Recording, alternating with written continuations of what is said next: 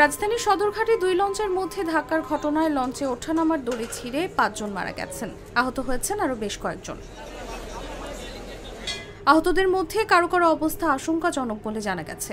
বৃহস্পতিবার বিকেল সোয়া তিনটার দিকে দুই লঞ্চের মধ্যে ধাক্কা লাগলে এ ঘটনা ঘটে। ঢাকা নদীবন্দর সদরঘাট ট্রাফিক জোনের যুগ্ম কমিশনার জয়নাল আবেদিন জাগু নিউজকে জানিয়েছেন, এমভি ফারহান ছয় লঞ্চটি পার্কিং করার সময় এমভি তাশরিফ চার লঞ্চকে ধাক্কা দেয়। এ সময় তাশরিফ চার লঞ্চের ওঠানামার দড়ি ছিঁড়ে পাঁচজন যাত্রী মারা যান। এ ঘটনায় তদন্ত কমিটি গঠন করা হবে। এদিকে দুর্ঘটনার পরপরই নৌ পুলিশের সদরঘাট থানার ভারপ্রাপ্ত কর্মকর্তা আবুল কালাম আজাদ জাগু নিউজকে জানান, ঢাকা ভোলা রুটের এমভি তাশরিফ চার লঞ্চটি ঘাটে বাধা ছিল। হঠাৎ এমভি ফারহান নামের একটি লঞ্চ এমভি তাশরিফকে ধাক্কা দেয়। এতে তাশরিফ চার লঞ্চে ওঠানামার দড়ি ছিঁড়ে তিনজন নিহত হন।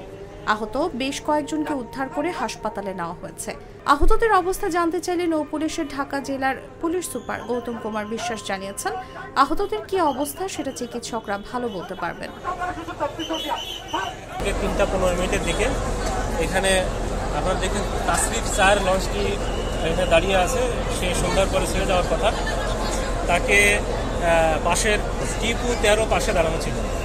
টিপু তেরোকে তেরোর পাশ দিয়ে ফার ফারহান ছয় ফারহান ছয় লঞ্চ যখন বার- বারদিন করতে যায় ঢুকতে যায় তখন এই জোরে যে ধাক্কা দিছে ধাক্কা দেওয়ার কারণে টিপু ছয় আর তাসরিফ চারকে ধাক্কা দেয়। ধাক্কা দিলে তাসরিফ চারের যে রশিটা রশিটা ছিঁড়ে যায়।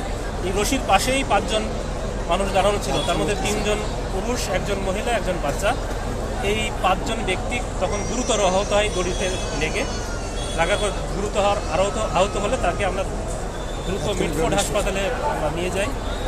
সেখানে চিকিৎসারত অবস্থায় পাঁচজনই মৃত্যুবরণ করেছে বলে এখন আমরা সংবাদ পাচ্ছি। যদিও এখনও ডাক্তারের ফাইনাল ডিক্লারেশন পেপার আমরা এখন পাই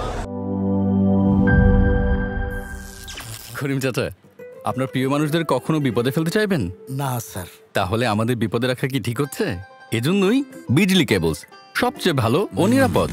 ফ্লেম রিটার্ডেন্ট পিভিসি দিয়ে তৈরি বিজলি কেবলস নিরাপদ আজীবন।